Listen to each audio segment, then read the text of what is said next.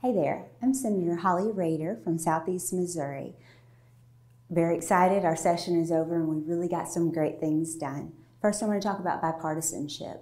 Bills that I worked on that had both sides of the aisle, Democrats and Republicans, really coming together to um, help our families, to help everyday Missourians. And that's exactly why I'm in Jeff City. And so um, my first year in the Senate was really great because I was able to get some things across the line that we've worked on for years. First of all, the prescription drug monitoring program. Y'all know how important that has been to me and what a labor of love, almost a decade of trying to get that across the line and it is now um, on the governor's desk waiting to be signed. And that's been um, people from both sides of the aisle, parents who have lost their children to this um, opioid epidemic. I mean, it has been those working in recovery, those working in the treatment area, um, mental health. We've just had folks from all over, plus everyone in the medical community for years pushing to get this done. So this is a win for us all, for everyone who's been on the team working, and I can't, I just can't say thank you enough. Second, I want to talk about our HIV modernization. So we were able to get that over the line as well. And um, that's just updating our laws from the 80s that's really been discriminatory and have really prevented people from getting tested.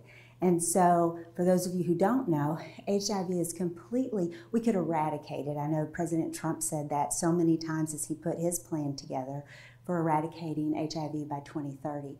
We absolutely have the medication now to do that, but people have to get tested so they can take the medication so that it doesn't spread.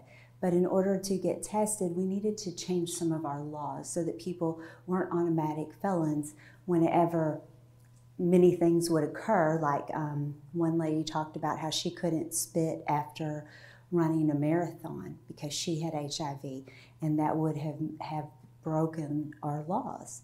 So those were things that we needed to get changed, and we absolutely got that across the line this year. That is also waiting for the governor's signature. Again, bipartisan support, folks from both sides of the aisle working together to help Missourians. Next, I'd like to talk about um, something that wasn't bipartisan at all, but our Second Amendment Preservation Act. And I've talked about it all through session how important that was to get that done, how much that bill was the most important bill of the year. And the reason is, is because with the Biden administration, we see that they are absolutely wanting to put controls on our Second Amendment rights. And that's just not going to work for Missourians. And we were able to get that to the governor's desk. I anticipate it getting signed um, very quickly, and we can have those extra protections in place. So Thank you all very much for allowing me to be your senator. It's been an honor, certainly a learning experience as well. And um, I look forward to seeing everyone out throughout the district this summer. Thank you.